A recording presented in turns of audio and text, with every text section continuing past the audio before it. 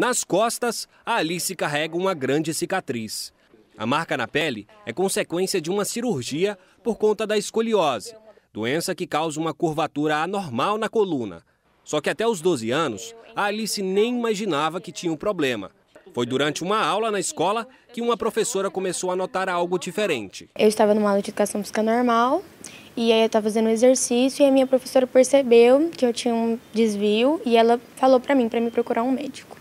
O Exísio, pai da Alice, não tinha percebido nenhuma alteração na postura corporal da adolescente, até o alerta da professora. E quando olhou com mais atenção, logo notou. E eu me assustei muito.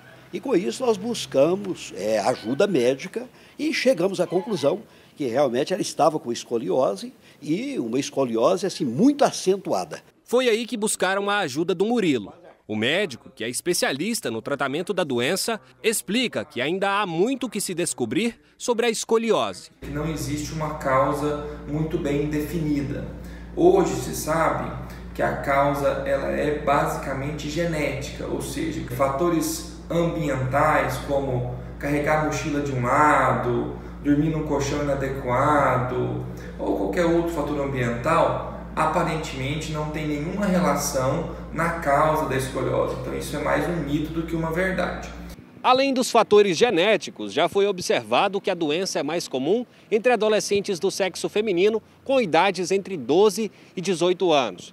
De acordo com a Organização Mundial da Saúde, cerca de 6 milhões de brasileiros possuem algum grau de escoliose. Se não tratada, além da coluna, a doença pode afetar outras regiões do corpo. Esse desvio da coluna leva também a uma deformidade de toda a caixa torácica e por isso as repercussões pulmonares que essa doença pode levar quando não tratada. O tipo de tratamento varia de acordo com o grau de curvatura da coluna. Quando essa curvatura ultrapassa os 40 graus, o tratamento geralmente é cirúrgico, como no caso da Alice. Hoje, recuperada da cirurgia, a adolescente carrega a cicatriz como um troféu. Ela representa uma luta que eu tive que passar e que machucou muito. A gente é jovem, então a gente recupera bem rápido, sabe?